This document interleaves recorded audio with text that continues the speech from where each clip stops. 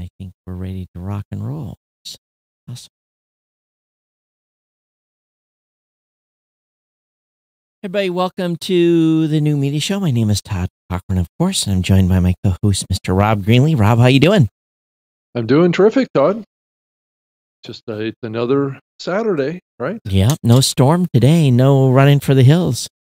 but we did have a uh, just as I had kind of thought on the map. There was a they'd say it was a treetop, but there was trees down. People finally got their power back yesterday, so trees were down and and all kinds of stuff. I I remained in power here and had remained power out at the compound as well. So did not uh all's good here. So nobody got hurt. So that's the main thing.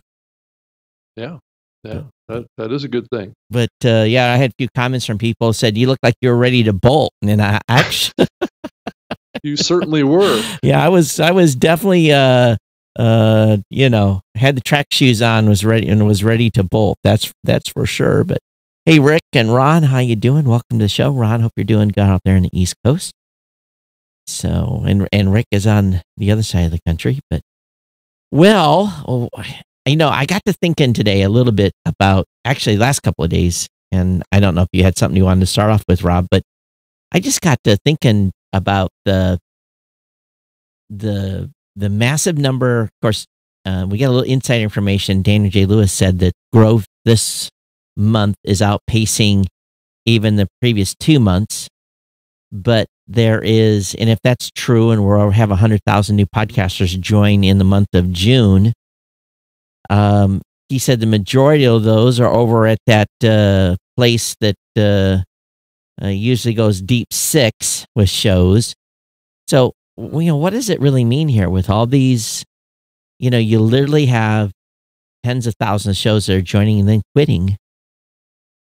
That I, I don't know. I it, it's not necessarily healthy at all. I'm I'm just um, you know, if you can't start a show, if someone starts a show and then doesn't continue the show, it just props up. Um, I'm having all kinds of uh, mobile issues here.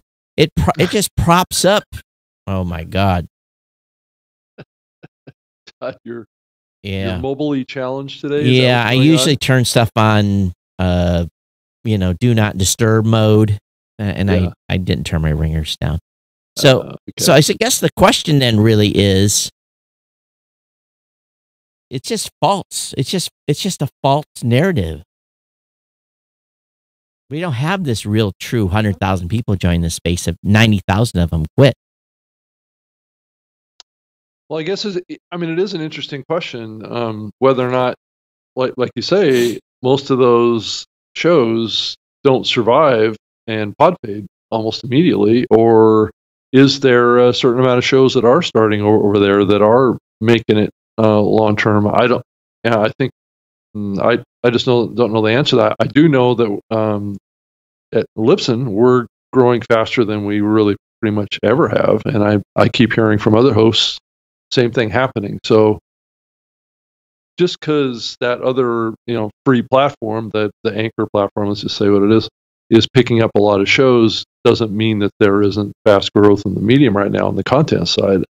I think the big question, like you said, is is you know, and this is what I was worried about is is the growth of the content side outpacing the growth of audience, um, and you know, maybe maybe that that actually doesn't happen. Um, maybe we don't get out of balance. Maybe the market maintains that that growth equilibrium between listeners and content creators, um, and that's what you know. That's what keeps things okay about it. Well, I don't know. One thing's for sure is that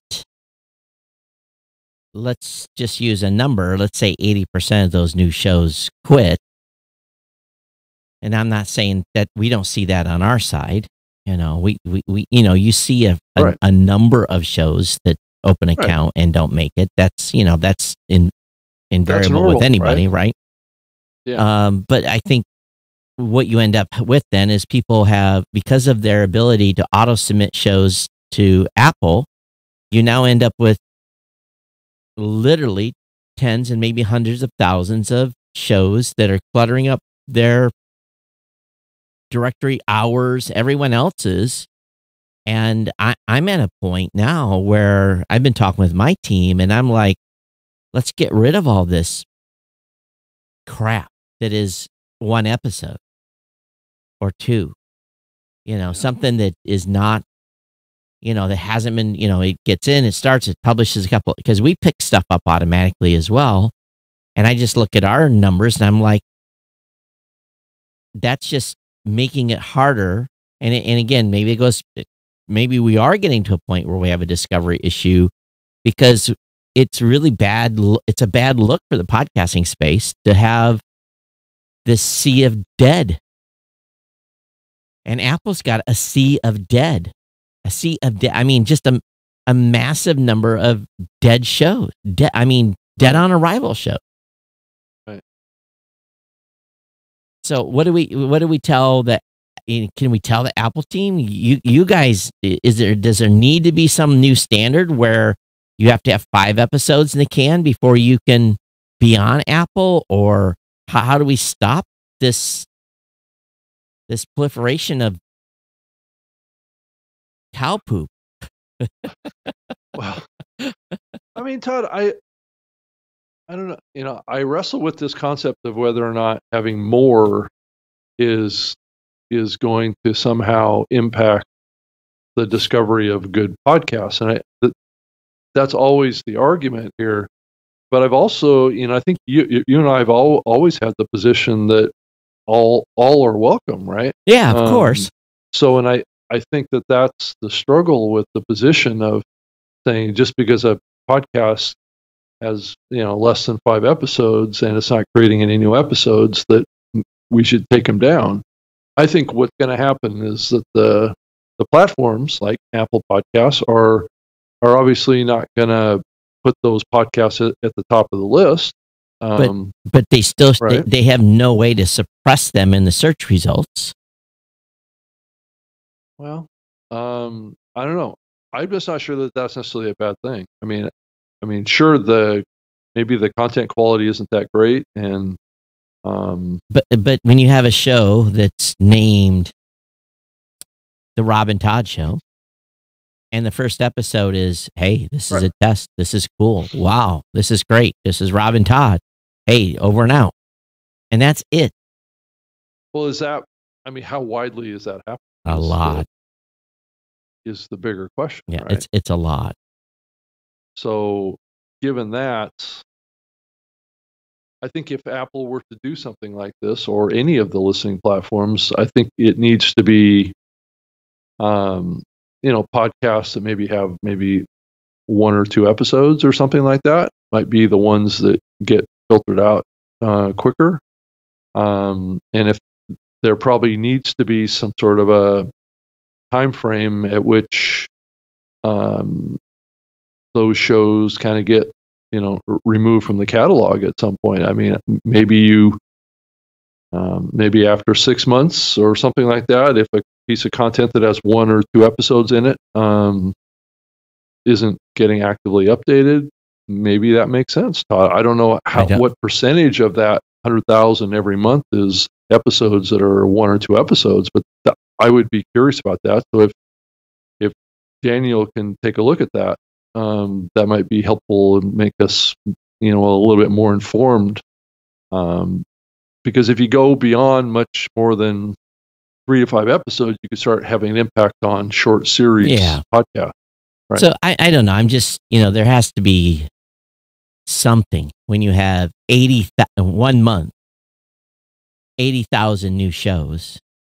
Or more. Or I mean, more in a month. More. I think it was 106 last right. month. And, and then 80% of them are dead immediately. DOA, dead. Right. After one or two episodes. Is what you're saying? Sometimes no, yeah, maybe one episode. They're dead. They're done. And it's not even, some of them, you can't go through and curate those by hand. It's impossible to listen to all those listings. Tom says, I don't do, I don't get, Tom Webster says, I don't get this all. Don't understand the entire point. Netflix is cluttered with show's no longer being made, is there some minimum that you would accept legit if I do a single show that teaches my whole methodology and don't need to do another? Is that a dead show? Did I pod page? Should my host be the judge of this? No, I don't think so, Tom. But here's the problem Th- that is not normal for the large majority of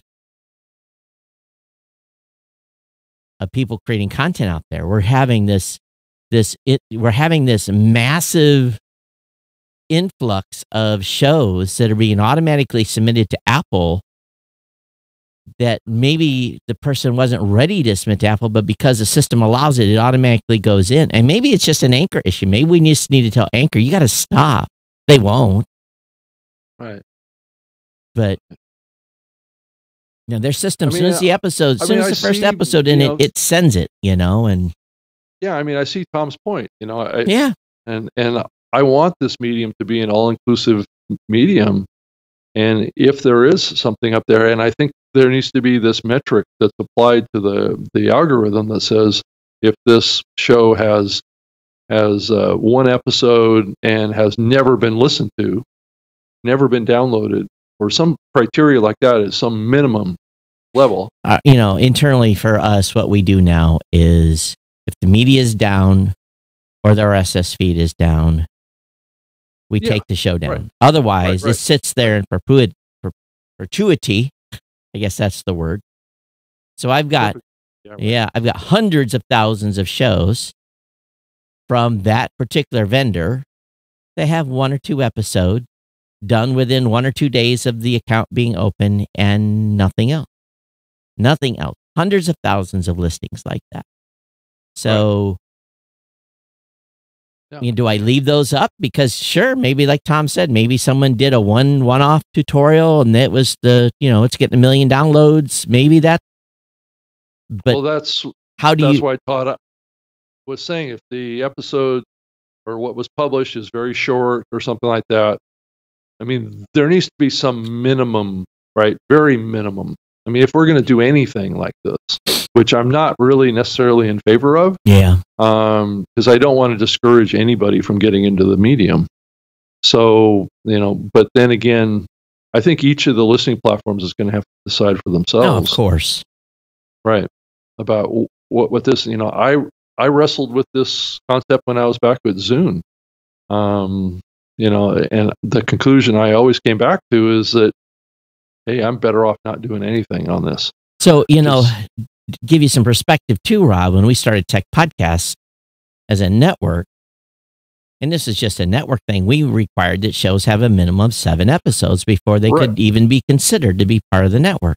well iheartradio has a requirement uh, when i was working at, at spreaker that a show have i believe five episodes So, the feed before you can be accepted into their catalog. But it was amazing, even the shows that made it to seven, how many of those, more than 50%, and it goes back to my, meth- you know, my life survivability number that I've always used on podcasts is that even of those seven, 50% of those would be dead within literally Right. months. Uh-huh. And we would be removing them from the network, even though we waited till they got to seven. They really never made it to 10 or 12 or 15.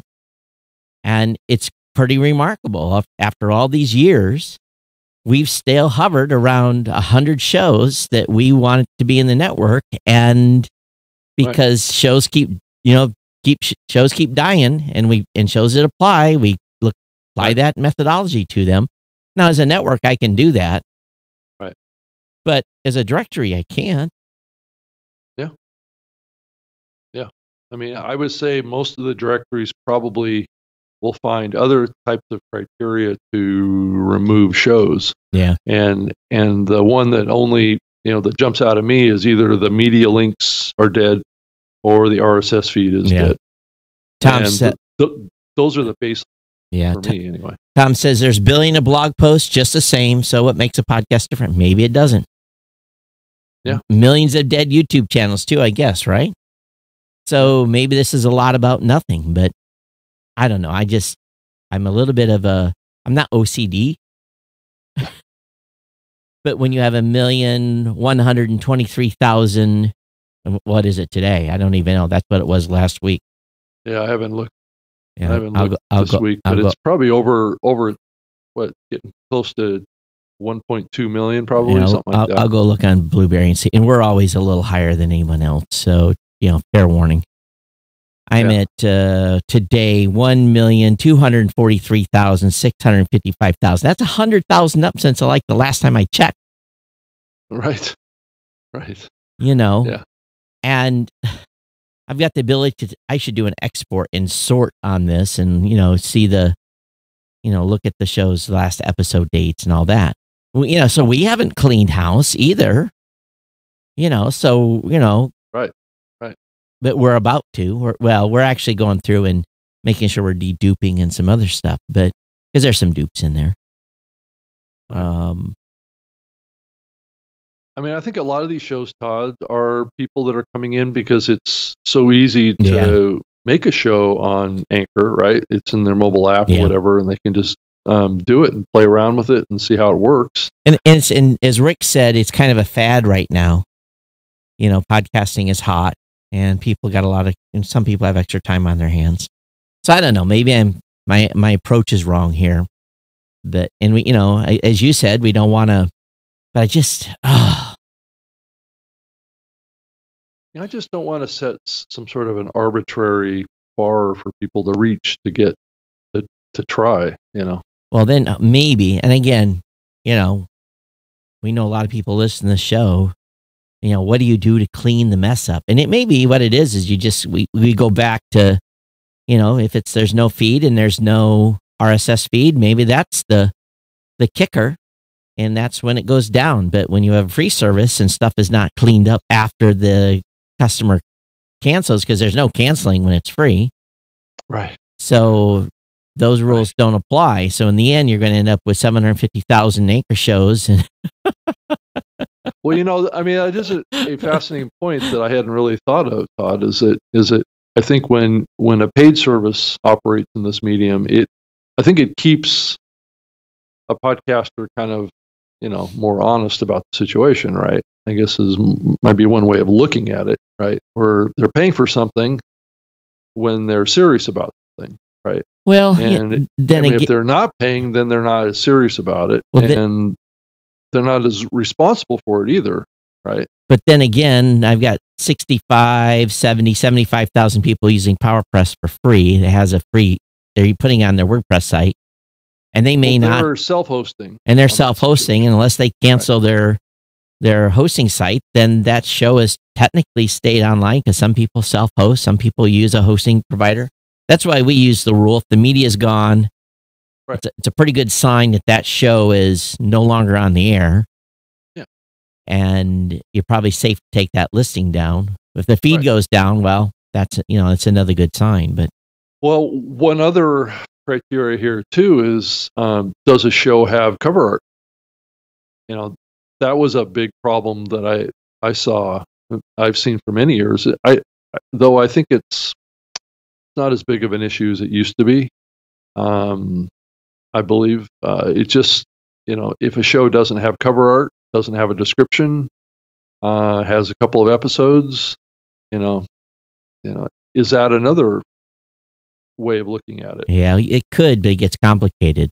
So if we don't, if a person doesn't have album art, we give them some default, you know, album art that's in their account that you know, we yeah, just. I had a problem in when I was working on Zune, just a sea of default album art yeah. on a page, right? And and it looks horrible for the listening platform. Yeah. I, Tom, I think that's more impactful. Tom says, "Is um is the mess based on supply though, or a on a failure of search meta data rank authority and podcast discovery?" Well, I don't think there's very, there's very few platforms actually do any ranking. There, you know, Apple does obviously does their thing, right. and everything else just kind of falls into search. But just go to Apple and do some searches. You know, just do some random searches, and, it to me, it's pretty mind-boggling. On the number of shows that have the exact exact same name. There's just you know, it's just a huge, a huge list of shows. So Maybe, maybe it's not. And again, if, if I contend to what I've said for years that most podcast subscriptions of people that are finding podcasts are through word of mouth Right. and not necessarily through search engines. Well, and and Todd, or not Todd, but Tom raises the point too that it, maybe they just get removed from search. But uh, I would think also, you know, that may create problems too because if uh, if the podcaster himself comes in and searches for his his dead podcast or his pod faded podcast, he's still going to want to see it in the search results. And if he doesn't, then he's going to complain. Well, you know, let's let's go over to.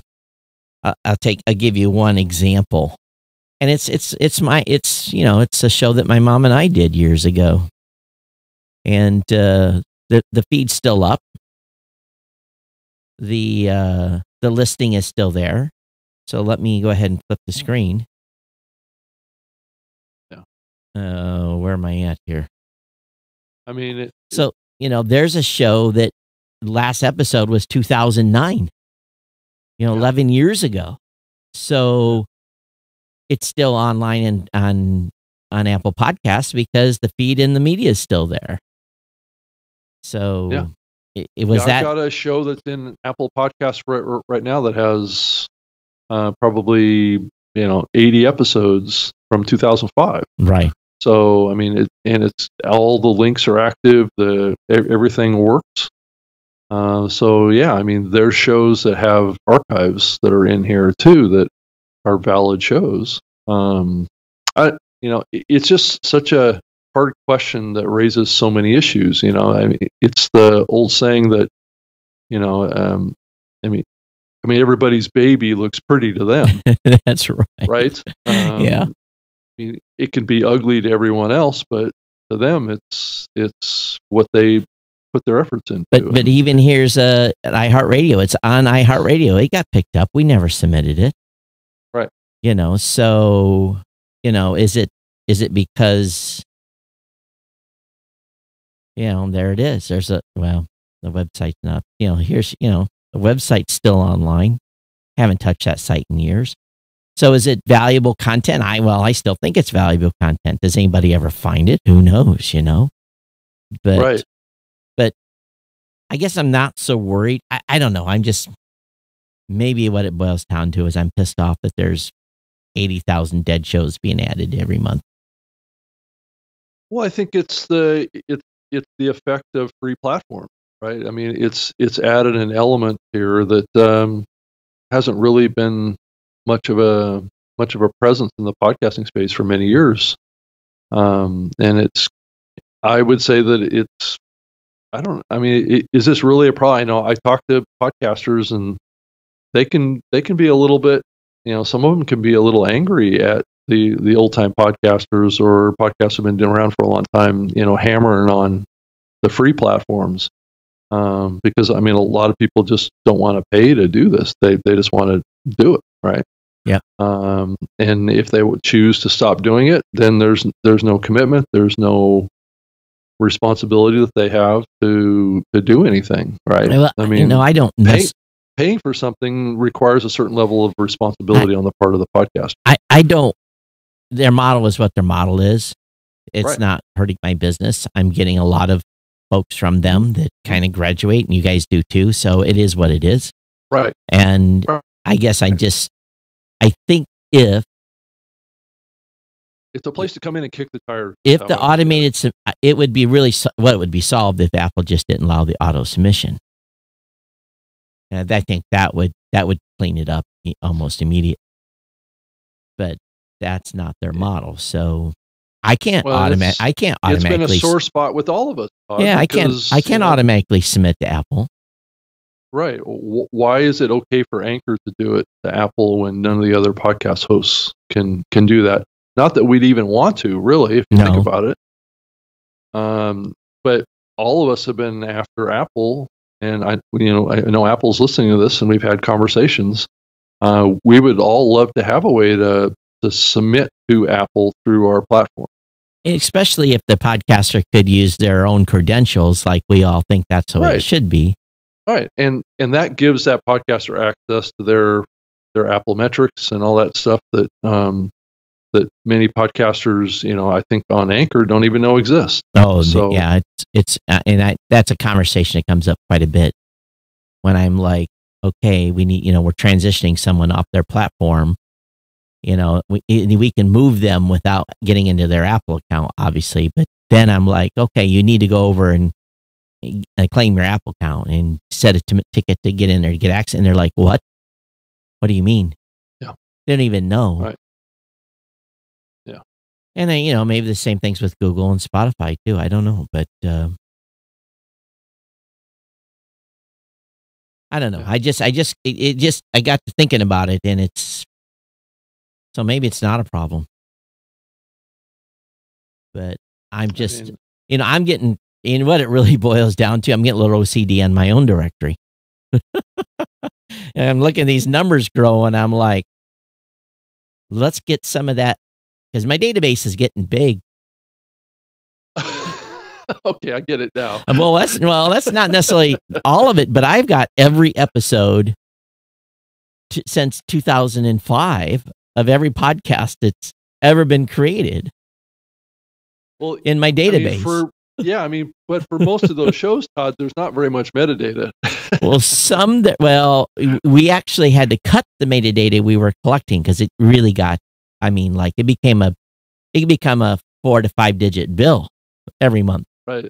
Right. Database wise. So we actually started parsing down some of the stuff that we were storing because it just got, and Angelo wants to potentially go even further, only what's active in the, in the feed. He, he's kind of in the mode right now. Like, do we really need to have, uh, you know, a billion episodes in our database? And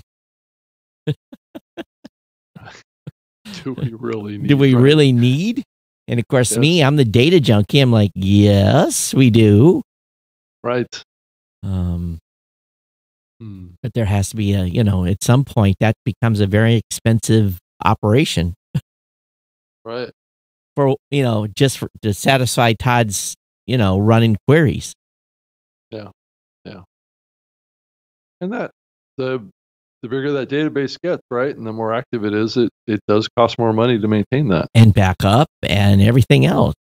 And right. think about that. We got a million two hundred forty-three thousand. I have and I have every episode they've ever created in that database.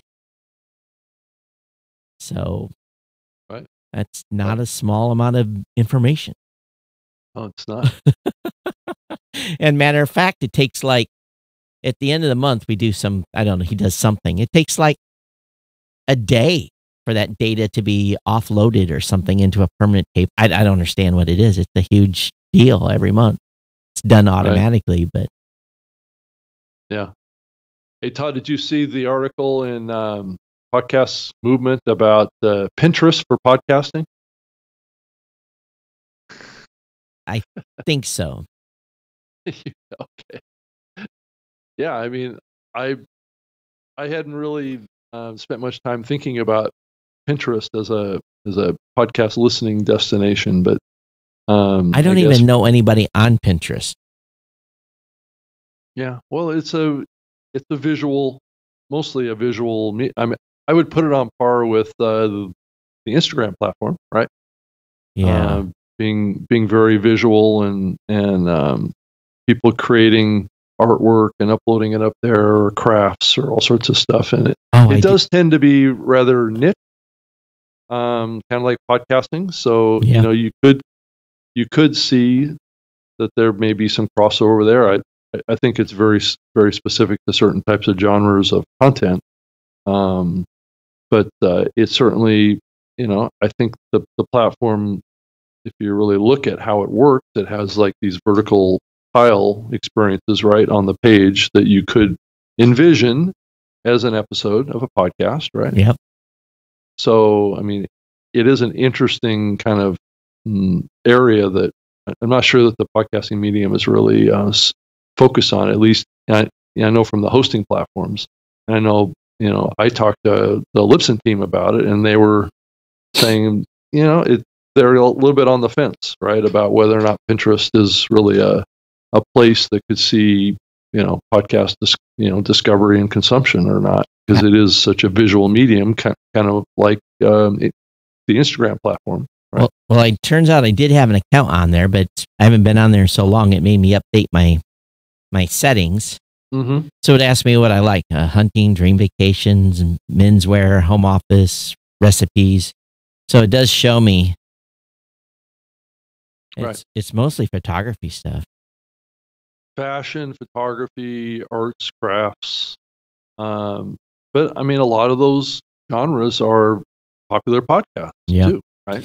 So I guess a way to promote your so I'm I again I haven't been on here in years and I'm flipping through fast. So let me go and let's pick this one here. This is for how to tie a, knot.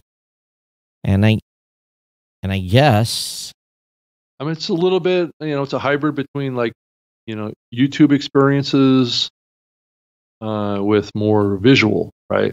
It's it's a little bit more, mm, I'm gonna say, versatile than the Instagram platform. Uh, there's I- a lot of advertising on here.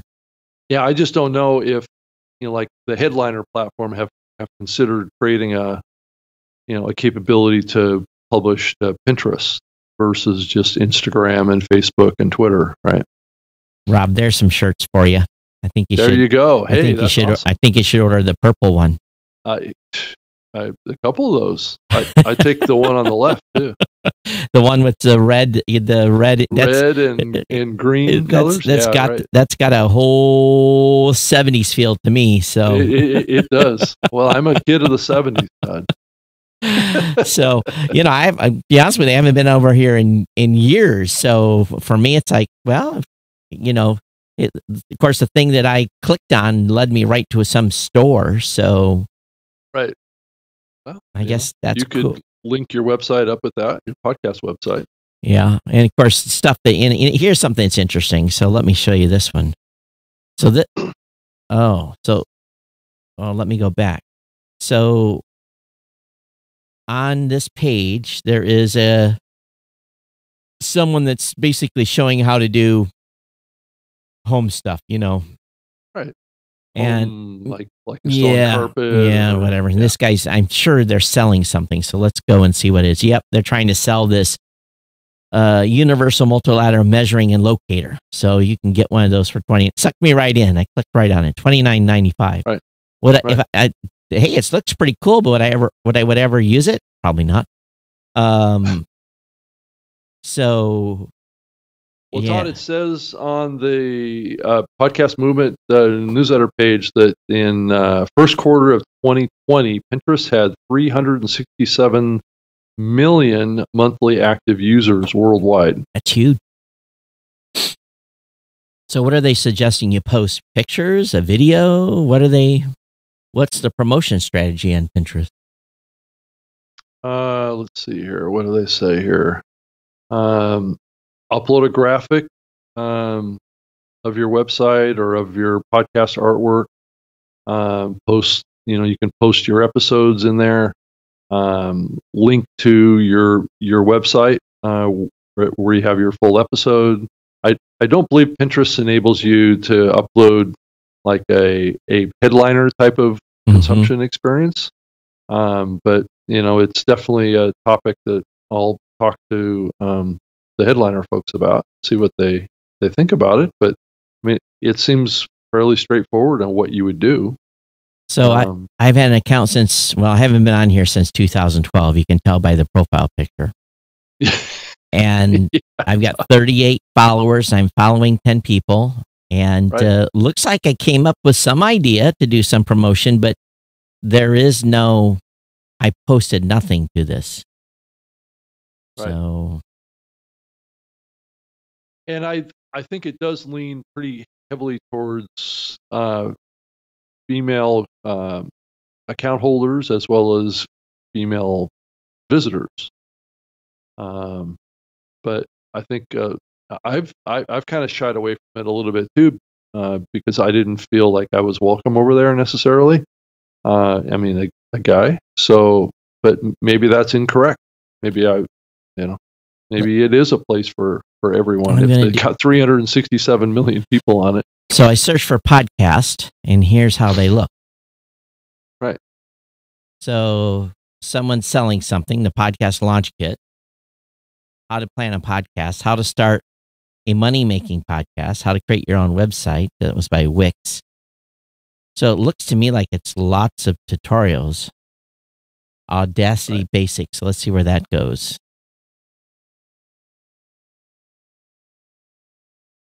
Okay, so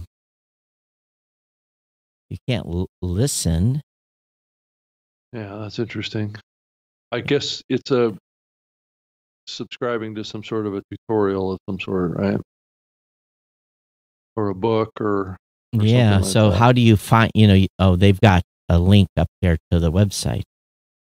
So if I go to the website, and it it's really SEO'd out really well what that person did. How to prepare for a podcast interview, and then their website is loading slow as sin. How to prepare for a podcast interview. So you you can get to the page, but there's no. This is what's funny. It's it's an article about how to prepare a podcast interview, but there's no player on the page. There's I guess there isn't. This is just a blog post. yeah, it's it's not on Pinterest. So I, you know, No, that what- This goes to a what di- this goes to someone else. This goes to someone else's website, Rob. So right.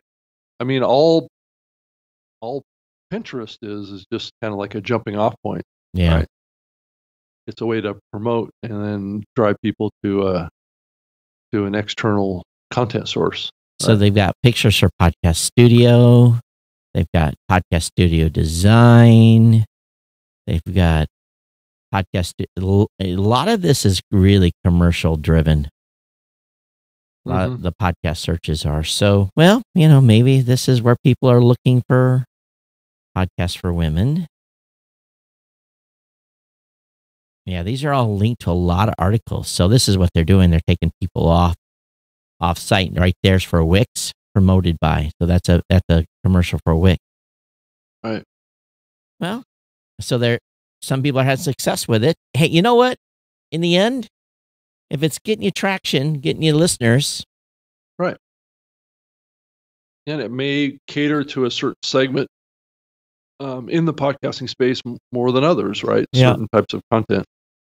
Um, but I thought it was interesting. You know, it's been a long time since I've had it really or had seen anyone in the podcasting space talk about Pinterest. So, um,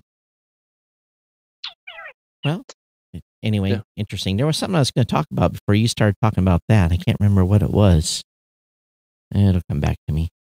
oh yeah, always does. We did get picked up on the last uh, show. Last talk. I guess everyone was surprised. Uh, at least Cridland seemed to be surprised about the five percent issue on on the watch, right? on the watch. I haven't heard any anybody scream at me yet over that article. So well, because I think it's right. oh, it is right, Nobody's going to argue about it too and much. people are going to be people are going to be mad when their numbers go down on various platforms. So Yeah. I mean, I think it's great what Apple's doing. I mean, it's a, it's definitely a, a, a you know, a feature that I think is good for the listener. We But- just need to, as delivery platforms, we just need to realize and embrace what the behavior is, so we get accurate numbers. Well, it's just like an autoplay on a web page. It's kind of the same thing, you know. When when someone's autoplaying an audio file, it's the Right. same bad behavior, Right. That uh, you know can't continue to be supported. Right. So Well, as as time goes on here, the the, the whole issue with podcast conferences and events Oh, continues to get more. Uh, yeah, that's what I was going to talk about. more convoluted. Um, She she podcast pulled the plug. Yep. Well, until 2021. Um, yeah. It's it's really too bad, and I I'm not at liberty to say, but there's a bigger there was a ongoing well.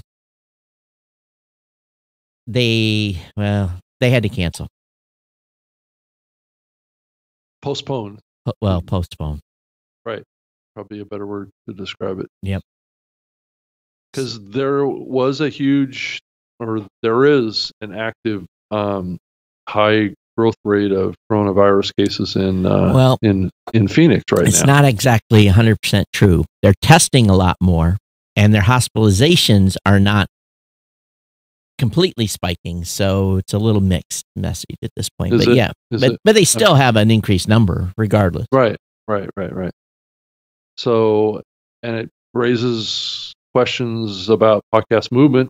So, I I did ta- talk to, to Dan Franks yesterday, and he's still planning on doing what he's going to do. So, th- th- there isn't any change from him that I'm I'm feeling. So, They're they're also movement is on track. They're So- also holding their event in Texas, and Texas is Texas operates a little different than a lot of part, a large part of the country. Right. So, you know, Texas didn't. They shut down a little bit, but they never completely shut down. Right. To begin with, so. Right. We'll see as So- we'll see as the summer goes on. But you know, there's many reasons because you know here's the problem that these event coordinators are up against. They're on cancel windows. They're on. There's a whole bunch of reasons that they have to cons- not just the numbers of the infections. It's you know they have to it's, well, it's their contract. and they have to speculate what's going to be you know Right. this is june july august september they got to speculate what it's going to be in 90 days and they and they and they're and i and i don't blame them for having to make the call nab new york's canceled they you know that probably Yeah, doesn't and come the- as a surprise And that that event is, in, I believe, in October, November, Yeah. something like that. Right. Yeah, it's later so, and yeah, in that same kind of time frame, though. The uh, number the number of events for us to get together this year are rapidly rapidly declining Yeah. I would almost foresay that if the podcast movement goes on, it will be the only event of the year. Yeah. That's my prediction. But as my CFO says, we're saving a hell of a lot of money on travel right now. Well, Dan Dan did say that he was w- willing to come on the show to talk about podcast movement, probably in sometime in July. Okay. That's what he told me. All right. So, That'll work. Yeah, so about what's going on there and and how how things might be different. Um, you know, I had a lot of questions for him too, and he doesn't necessarily have a lot of answers to things other than they're they're just continuing to march forward with the assumption that things are going to happen. So yeah. And I think too, based on everything I'm seeing, people are, uh, well, let's just be frank. Um, my in my community, um, even though tomorrow or Monday is our official out of quarantine, stay at home order because that ends for us on the twelfth. Yep. Traffic and businesses, minus being a sit down because we can't sit down in restaurants yet in Michigan. Um, everything's pretty much back to normal mhm. and I see maybe one in 10 people wearing a mask. And I'm hearing even in states that have had like, you know, social media justice warriors and people that are pretty brutal on calling people out, I'm hearing the same thing. Like one in 10, two in 10 wearing a mask in many big cities across the country. I think that people have just said, I, I think they've resigned themselves to the fact that this thing is here and they're going to go about their business and people and they basically i think what it boils down people have basically said if you're old and have pre-existing conditions you're on your own and right. that's the way it appears you know so We're moving on, and we're going to take our losses. take and take our risk and and be on with it but um I mean, because it is. I mean, I think the approach that the country is taking generally is that we've accepted the fact that this virus is gonna it's gonna make its way through the population, and that's how we're going to come out of this on the other side, right? Just like any other flu. Um, that's that's how it feels anyway. and as we big just as, accepted the fact that it's going to do that. and as big as the tragedy was that surrounded all the protests that went down you know, I think people basically said, okay, uh, you know, the the protest that happened with mass gatherings, so I, I think Right. that pushed it over the edge. I think that basically pushed people into saying, Yeah. forget it, let's go. And um, I'm still being cautious. Yeah, I am too. You know, I'm Right. 56, and you know, so didn't. I haven't really made that many, that much changes to what I do compared to when things were locked down. I mean, I I don't really have to. Right, so right. Why would I take those risks at this point? Um, I I did notice in Pod News, Todd, that uh, James said that there's some sort of big news coming up on Monday. Um, a podcast app that has eight times um, bigger usage than we all realized, or something like that. I Okay. Yeah, I'm not sure what he's eight, referring to. eight times of uh, one tenth of one percent, or Right. I yeah. Tom says, I can't leave Massachusetts and come back without a 14 day self quarantine. I'm not going anywhere. How do they enforce that, Tom? They can't enforce that. Hawaii so is means that if you s- step off an airplane, Hawaii's enforcing it. Hawaii is sending people home. Hawaii, but Hawaii's a little bit different. It's a you can't drive into Hawaii. Right? That's true. You have to So, e- and because I've got a Michigan driver's by license, boat yeah, or by boat. And when there's no boats going in, they're banned. So if I fly into Honolulu now because I don't longer have a Honolulu address, I basically have to go to my house and stay in my room away from anybody for 14 days. Can you I'm sure imagine? you're- how's that, po- that. how's that possible? So I'm just not going home, right. you know. Yeah. So but I, you know, I so sometime in July supposedly they're going to loosen the loosen it up a little bit. But there's over uh it's only 600 some cases so far in Honolulu. But and I bet you, Tom, what's happening in Massachusetts? You got people that are coming and going, and they don't care about this imposed quarantine. How can you stop it? There's they haven't put roadblocks up on the highway.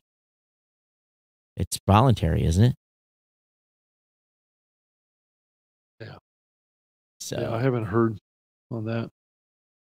But you know, it's it, it's and it, it's the same point too, Rob. We opened our office back up on uh, last week Monday and made it voluntary, and we had restrictions on the number of people that could be in the office, and uh, no, only one person used the office for one day last week. So, um, and it was because there was something going on at their house. They had some plumbing job going on or something, and didn't want to hear the plumber banging around or something.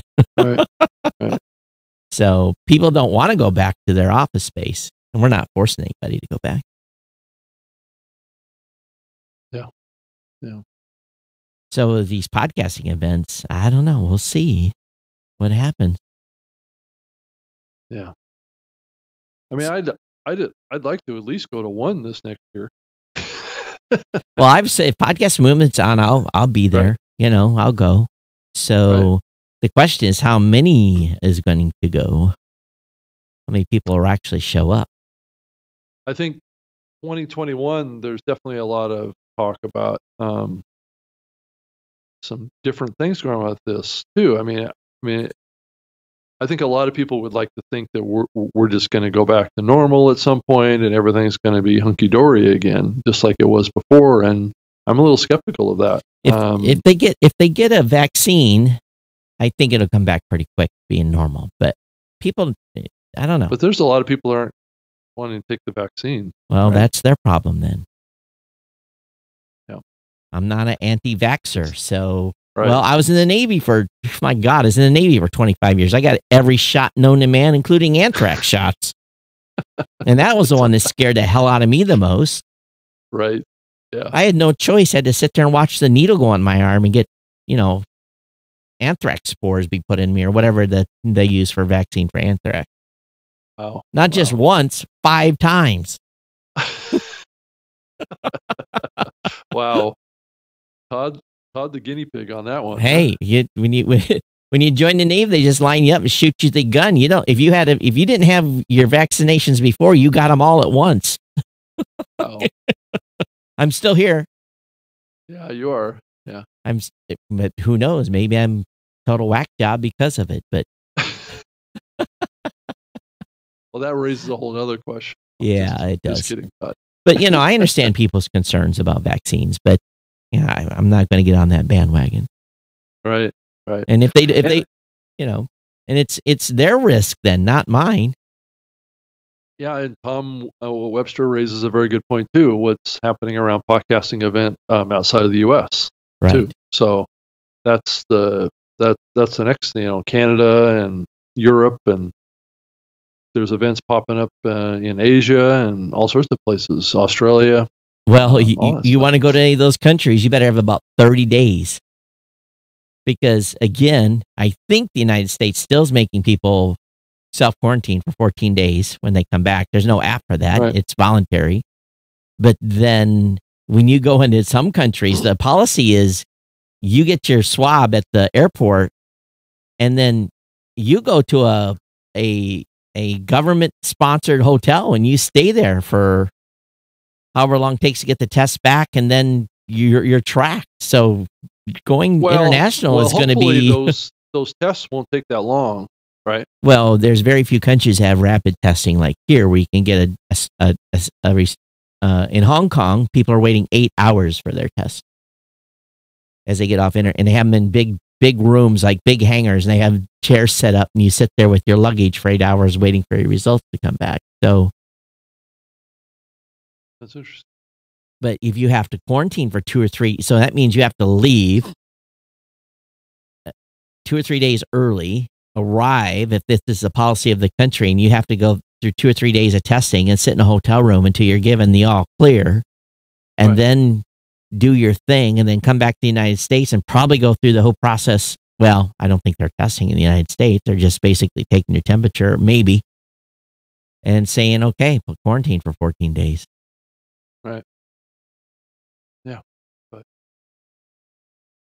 So we'll see. But again, it all depends on vaccines, and I don't know. Uh, Luckily, the promo- production of podcasts have not slowed down because of Oh, COVID nineteen. Right, and there's a there's a continuous flow of as we've seen in you know just in what we see in pod news there's this continuous flow of of investment in podcasting was it the podcast network got 1.4 million in seed funding um, there's a, a new company called pod beings Mm-hmm. um, Black Hole is also doing some stuff. Uh, it's like a Soundflower update kind of thing. Um, was it Pod Bible? Uh, there's always just a bunch of stuff happening. Yep. So I don't know if I talked about it on the last show. Did I talk about the AWS Marketplace stuff on the last show? I think I already talked about it here, didn't I? I don't. I don't. I don't remember. Yeah, I think I did. Right, we basically have our pro hosting services now available Right. via W- AWS Marketplace. Right. Yeah, Right. It's been an interesting response to that. I think the most interesting response is, "You have an API?" Like, yeah, we had an API. I've had an API for years. Right. So, yeah, lots of stuff going on. Uh, people still getting money. Yeah. I got queried the other day to do a um, like some company called me, some research company, and they wanted to uh, me to do uh, get paid to provide publicly known information based upon the podcasting space. And uh, yeah, the interview went good, and she said, "We're going to send you the form over." And when she sent the form over to me, there was in the third step there was a list of restrictions that was I read through this thing. I'm like, I can't do my job if I agree to this. and I sent the lady back. I said, I, I'm good with page one and two, but your terms on page three, sorry, I I can't agree to that. And uh, so I guess I'm not going to be a uh, a consultant for someone. Ah, there you go. So another um, uh, live virtual podcasting conference is happening later today. Today, Uh, yeah. Um, Joe Pardo. oh, he's having another I one. It, I think it, it, it did it already start. Let's see. Probably. He's been doing those short Uh, eight hour ones. Yeah, yeah, it actually started at 9 a.m. Eastern today. Um, it, it's at the independent podcast conference.com. I'm going to be doing a session at uh, 4.30 Eastern. So what's the topic? So, um, my topic? Yeah. Well, the whole conference is um, basically starting up as a podcast. Oh, This He's been- is for for beginners. he's been doing. I think this is the third one. He's been doing. He did a, a two day one, and he did a one day one. I think this is another one day event. So he's been, Yeah, and um, my session is is basically about how to become a compelling host and a co-host, and those type of relationships. Mm, Kind of like what we have here, Todd. okay. yeah. But I'm going to talk a lot about you, Todd, on this. Oh, good. Yeah, and yeah, I'll make sure my ears are ringing in around the time that you're uh that you're doing that. Right. Yeah. Yeah. So uh, some people are having a little trouble. Well, I mean, I think that the the topic is interesting from the perspective of um, some people are are more inclined to be like solo casters, Mhm. and other people are more inclined to be like uh, host and have a co-host. So, um, you know, you've actually spent most of your podcasting. I think we maybe we talked about it last week, but yeah. um, you know, you tend to want to be a solo cast. I think. yeah. And Did- doing this show with me and stuff has, you know, opened your your spectrums a little bit on the other side too. Yeah, I couldn't imagine having done a uh you know when I was started out, I, I just can't even imagine having him had to have had a co-host. Because number 1, you can't rely on co-hosts. You, you've got a vested interest in doing this show together. You know, we both have a vested interest in doing it. And then the same thing with my podcast insider. Well, that's my team. So my team has a vested interest to do that as well because they get told to do it. You know, so um but I it's yeah, but very I did hard the to Speaker Live show for many years, and a you know with a volunteer co-host. Wow. really, yeah. I mean, it was, and the radio show that I did for many years too. I I had up to, I had up to three co-hosts on my show at various times. So it's hard to juggle, you know? it is, it is, and you're dealing with a lot of complex kind of relationship issues too with the with Yeah. the show and and who's responsible for what and and if a person's not getting paid are they you know or you know those type of issues um, cause conflict and sometimes you know co-hosts and hosts break up Yeah. oh, we've had a few of those come across our desk recently. right Hey, hey, so switching topics here. Yeah. I've heard some people have had some challenges with the latest upgrade to the RODECaster Pro. The two- really i had i hadn't heard that so yeah. what's going on with uh, that Well, people are having some challenges with levels. Stuff has moved around quite a bit. Stuff has changed. The mix minus features, uh, even it, affected Mike and I during the recording of uh, it's just a little small thing. So here's my advice. If you have not yet upgraded to 2.1, make sure you got a few days in between updating it and doing your show so that you've got some time to play with it. Don't do an update two hours before you record your next most important interview. You, you might end up very, very, very frustrated. So make sure that you, when you do upgrade to 2.1, you've got a couple of days to, to mess around with it and, to, and make sure you test because this is a big, big, big update uh, as compared to other ones. And uh, they they're, they're stuffing a lot into this thing at this point but yeah, primarily levels, listing levels, matching that type of stuff where people are having trouble. And I think some of it's just because stuff is buried. Yeah. So, Rob, what would happen over at Libsyn if you guys had $4 million a month to spend? or um on like whatever we wanted to yeah, spend it on staff, everything. $4 million a month.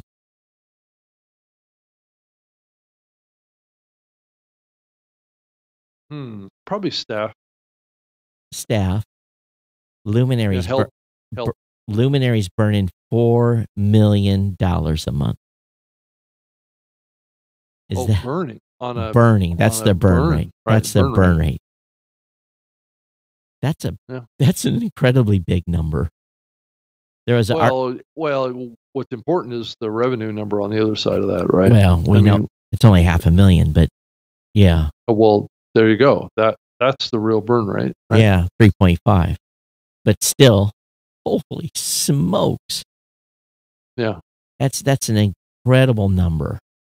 There's an interview with an anonymous insider, and I, I, I kind of chuckled just just a little bit on this because, and it, it probably, you know, lends to things that we talk about them and others do. Um, it basically says that uh, come on, I don't want to see your pop up. Says that the um, the community is excep- exceptionally tough on Luminary. unfairly, unfairly tough. So I don't know. I think, but they said what one of the questions that was asked by the interviewer what do you think Luminary's biggest challenges are right now? And here is oh. the response. They need a hit show in order to legit- legitimize their business and make it viable long term. And by a hit show, I mean a juggernaut, a serial, a slow burn, a Joe Rogan. Nothing medium sized will do. Anything else makes me feel like I can skip it and be fine. Podcasts are free, so they need to find a reason to make people to pay them. And so far, if they're, they're making a strong enough argument, they're also they're also not helped by the fact that we have 100 streaming services, and so people have been trained to care less about all content they can't consume. It's true. What's Yeah. my Apple? You, you hear music in the background? No. I have whatever prompted my Apple Tub or whatever it's called, that music player, just randomly Uh-huh. started playing music. so, all right. So, hey Siri, stop. Todd, I couldn't hear it. So I don't You know. couldn't hear it? No. It just started playing. What what did I read in this thing that caused that thing to kick? I have no idea. That's interesting. It is these these smart home devices, ladies and gentlemen, are listening. Well, I I have that happen on a regular basis with the uh, the, the, the the Amazon speaker as well. Yeah, it, will just all of a sudden start talking to you. I had a, had a YouTube, uh, not a YouTube, um, yeah, some Facebook video kicked it the other day. Some someone was doing something live, and uh, they actually said ALEXA and play next song, and my Amazon device did. That's just, I'm like, you got to be kidding, you know. So, but anyway, going back to this, um, do you think these challenges can be overcome? In this respondee said, Luminary is not the cool kid on the block, which sucks. I think that perception is unfair. Everyone in the industry publicly drags Luminary, but privately they all want to work with them and sell them shows. I don't think so. So perhaps they'll make it work. I think someone will be able to make this business model work. Well, you just don't hear from No. Luminary at all in the medium. They're- They're not in the news. They they're it's just they're like barely a blip on the radar, which doesn't doesn't help them. Yeah.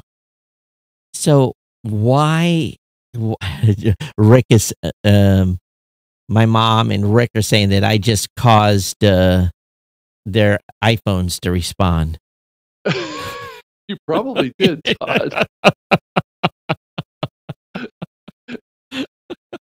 Well, maybe I stopped people from actually playing this show if they were listening. Right. Yeah, well, you probably we just stopped 90% of the people living listening on to this podcast. Yeah, but that's why you got to be careful what you say. You know. That's right. Yeah. Oh. But but with a four million dollar burn, you think they could at least afford to buy some publicity. Yeah. Um, but they say they need a big show. It's hard. It's hard. They they're not in the content making business. They're in the they're in the signing a contract business with big shows. So I just don't know why they need a three and a half or four million dollar burn uh, rate. Burn burn rate on staff for They- what they're doing. They right. must have a huge staff. Yeah. Well, but- let's see here. It really doesn't take that much to get four Yeah. million burned. Forty employees, mean, probably. I mean, I'm I I'm definitely in favor of them being successful. I want them to be successful. I just I'm just dubious of the approach that they've taken in the medium and whether or not it's going to work. Yeah. I mean, you know, when was the last time that any of us talked to Luminary? Some event. It may be Long, LA. long time ago. Yeah. And uh, So I don't know if it's the, you know, the Chinese owned. So is that the? I don't know. I don't. I don't understand that DNA over there at all. right. I mean, there's some really big uh, new podcast listening platforms coming that people in the space haven't heard about yet. Right. I mean, there's a lot of stuff brewing in the next six months. And yeah, some big ones. Yeah. And maybe you're scratching your head going, I thought we got them all. Well, Nope. we didn't. And who might that? Yeah. Who might that be, Rob? hmm. I probably shouldn't say, Todd. I know I can't say. Right. but it, nonetheless, it it it's very good news for the podcast. Um, and there's other ones out there that are um, that are bubbling up too. That you know, not all of us have gotten on board with that are coming too. I mean, it's it's it's really really interesting what's happening. You, you know, it's outside of the U.S. too, not just in the U.S. I Uh, think. but but certainly in the U.S. is it, you know, when it happens, they'll go, you know, it'll Oh. be like a light bulb went off in their heads, going, "Yeah, right, that makes sense." so I think so- too, what you end up having then is more options for your content to be heard somewhere, which is good. And um, and I think Pandora is probably picking up the pace. So if you, you know, Yeah. if you've been waiting, they're they're picking up the pace here. Well, soon. Well, they're they're still wrestling with their model a little bit.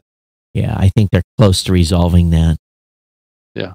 Yeah. So we'll keep our fingers crossed here on that, but we'll see. And yeah, and it's it's the combination between Pandora and um, the the satellite network that they're affiliated with too. Maybe we should try to get Lindsay back on the show. Yeah, no, we could Yeah. certainly do. I mean, I mean, he has a lot of opinions on um, this topic, and we I don't, have have we talked about this, but I can't remember. Uh, podcast insurance. I think maybe we did mention a couple episodes ago. Yeah. but but he he would be a good guy to come on and talk about podcast insurance and why that might be important in the medium as you look forward. Um, plus, also the podcast academy, the uh, the launching webinars. There's two of them coming up on June 18th that I'm I'm going to be hosting with the executive director of the podcast academy coming up on June 18th. Do you have Uh, your uh, presentation ready? It's going to be an open Q and A. Oh, So we're going to take questions from the audience. Uh, I mean, I'm going to share kind of the basics of the organization um, as best I can, but mainly it's just to create a, you know, a two-way communication, learn uh, from people that want to join us to ask questions and to contribute ideas and those kind of things. That's kind of the the phase that I'm at with it is hearing, you know, what additional benefits can the organization bring? There, there, there's a lot of discussion right now about creating a you know a mentorship program inside the organization to match uh, you know some successful podcasters up with those that are getting started. Um, so you know there's a lot of things like this that are starting to bubble up and um, and there's been a renewed interest, at least on on my side, that I'm putting into the organization about having this organization be involved in some, you know, some technical standards or standards discussions on how we can bring the industry together, Todd. Measurement's one thing, but there's a whole bunch of other stuff.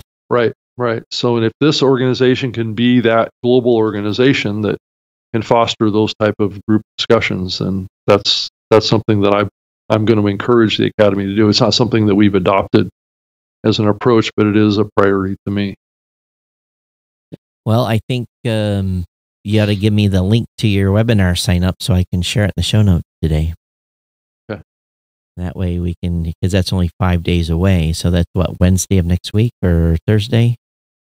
Next Yeah, Thursday. Yeah, yeah, Thursday the 18th.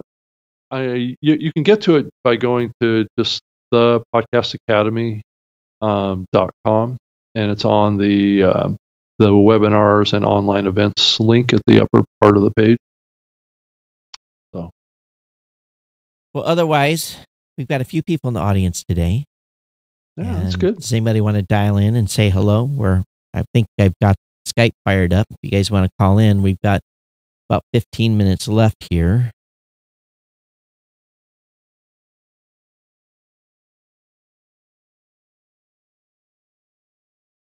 So if anybody wants to dial in, we'll leave that in up for the time being Yeah. and get ready to because I'm kind of out of stuff. You know, doing this twice a week, we don't have as a big of a pile of uh, of content. We can, you know, we can talk about a lot of stuff, you know, and you know, growth of one show. There's, you know, a lot of topics we can cover. Right. But it's uh, sometimes I feel sometimes I feel like I'm a broken record going over stuff though. Well, and Todd, one there, there's a couple topics that we could talk about too, and one is the you know your podcast awards and about just podcast awards in general, and then also um, the Hall of Fame. Yeah, so the podcast awards nominations open on July 1st. Uh, registration's going decently. It'll be a rush like the last week uh, before, and I've been promoting it pretty heavy on social and made all the Facebook Right. announcements I could. But if you're not registered for the podcast awards, uh, $25 to register.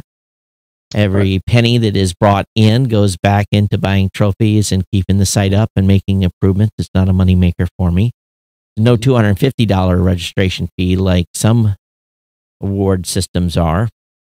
Although I wish I would have picked 250. I actually might have been able to, of course, then I'd have been the, the scourge of the podcasting community for being an asshole. But um, so it's only, It's it's a no-win situation, Todd.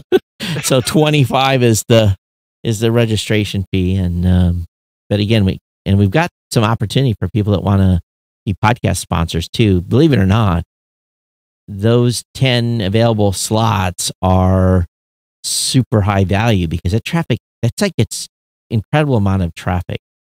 And um you know even during non-nomination period it's 20 to 40,000 page views a day just by people looking for the best sports podcast or best tech podcast or you know and they come to us through Google.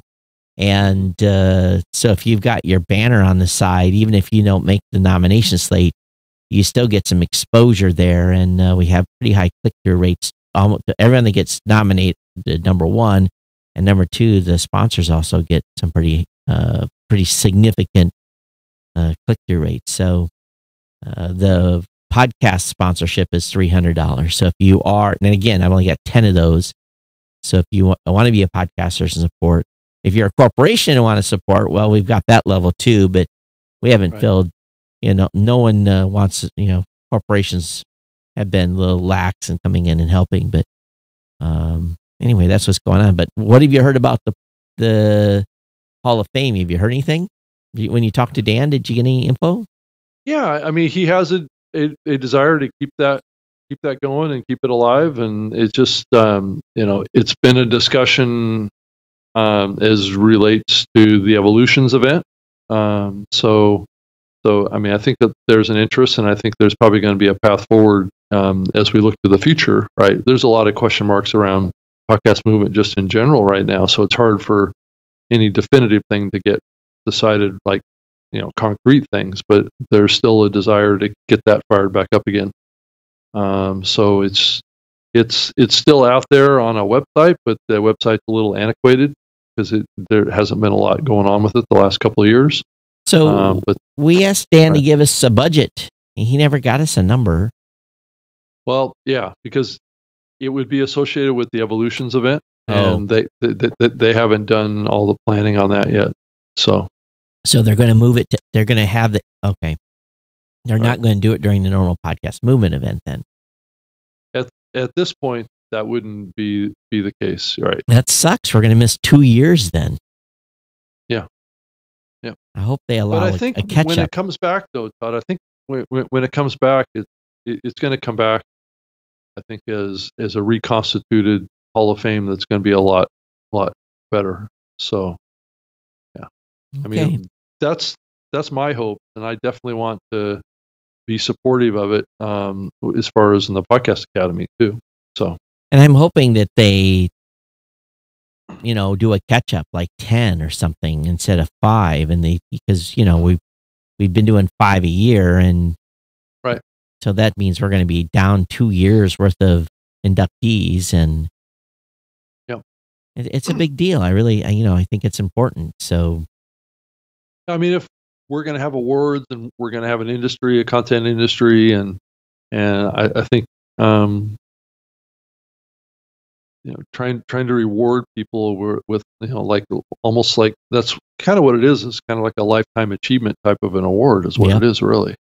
Um, is important to the industry. I mean, if we are going to have an academy like this that's going to have you know big splash of awards ceremonies to, to honor excellence in podcasting i think this falls out of it just like it's fallen out of you know um, football or basketball or hollywood or you know all sorts of places have halls of fame and that's to, to recognize significant contributors to industries so i think it's important Well, you know, I'm always open to something.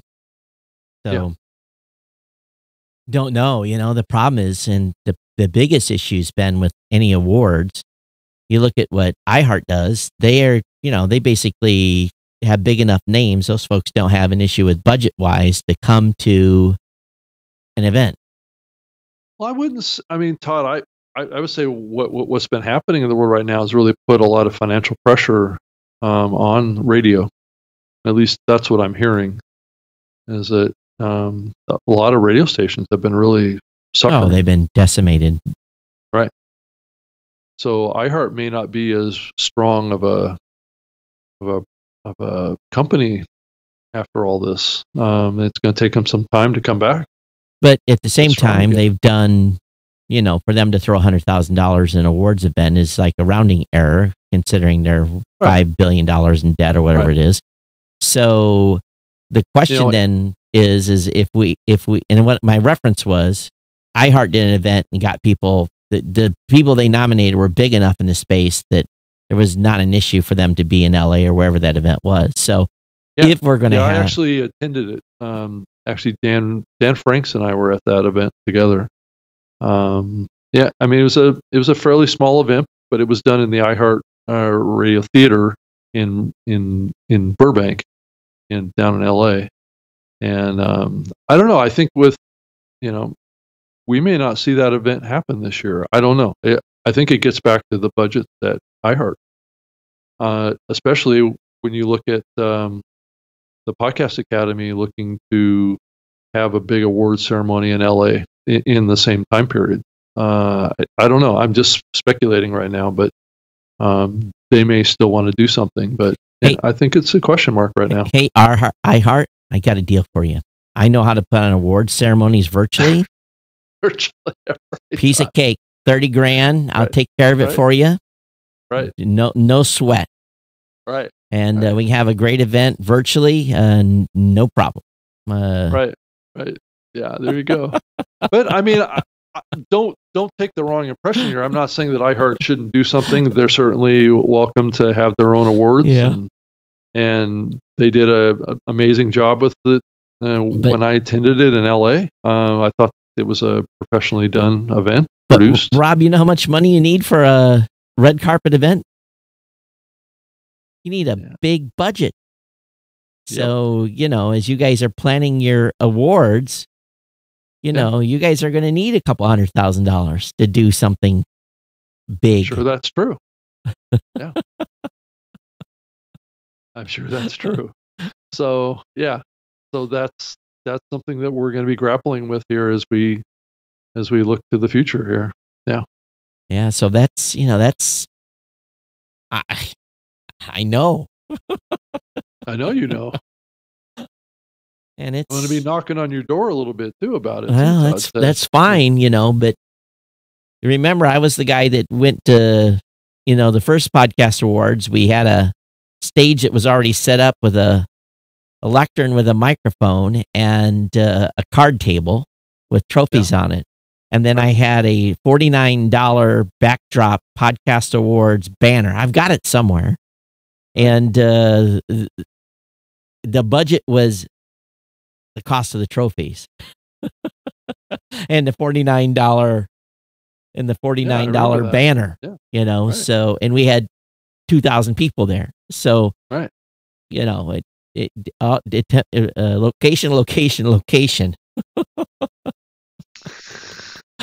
and, and synchronizing events. So, right, right. Yeah. Or you can catch people where, where they're going to be. right, like at Podcast Movement Evolutions or something like that. If it's going to be in, of course, we don't know if it's going to be in LA again. Uh, I I believe it's going to be, All right. Well, we'll see. but it's a possibility it won't. You know, that, that- that's always a possibility. So Well, you you could you know if um if you think about it, where Podcast Movement Evolutions was, the original Academy Awards right, was held in the room that we had our. Is that was the exhibit area? No, it was. I think it. I think it was the exhibition area. Uh, no, it was. It wasn't the exhibition area. The exhibition area was right next to it, but there was a there's a foyer with you know uh, seating in the. Oh, you know what? I don't. I don't think we ever went in that room. I, I was in there and and basically that had the historical stuff up there. That's the only reason I Oh, knew Okay. because they had this is where the original first four or five Academy Awards were held when you know they probably had fifty people show up, so or whatever it Yeah, was back in Yeah, I don't think it's going to go back there. oh, oh, that's interesting. Even that that Yeah. was a kind of interesting venue. No, it was. It was, and I've stayed there a, a few times on my trips to LA. But uh, yeah, I don't. I, yeah, I don't think it's going to be there next time. Well, It's going to be a new. It's going to be more likely a new venue. all right. Well, we'll be excited to talk to Dan in July when he can talk Yeah. to us more and give us more Right. more, More details. definitive stuff. Yeah. I mean, all all all this stuff is speculative stuff. Well, anyway, we're I think we're out of stuff to talk about unless you got anything else. No, and I think we we did our our mostly our ninety minutes. Again. Close. We're just a few minutes short, but uh, yeah, Yeah. we're we're close enough. All right, everyone. Uh, we'll be back on. Hey, so Rob, just as a planning standpoint, if Honolulu opens up, whatever day they open up, and I'm, you know, maybe that's first of July. I don't know, but uh, I will probably be making a Honolulu run soon as I don't have to 14 day quarantine. So I'll let you know in advance. Uh, but if I go back, I'm going to take that week off. Um, Yeah, and there may be a chance that I I can't do a show um, next Saturday too. It's a Okay. possibility. on the 20th. Yeah. All right. Well, just uh, keep me informed. I, I, I had to take a show off. Uh, well, I chose, you know, it's, here's something to podcasters. I don't want to drag us out too much further. There's some times that you know you shouldn't do a show. And last Thursday, I was bummed out. I'd lost a, a friend uh, to Yeah. an aviation accident. I posted on Facebook, and I just was totally, totally bummed. And I just knew there was no way I was going to be able to have the energy to do the show. And I just, I pulled the plug on that show. So um, it's okay to do that once in a while.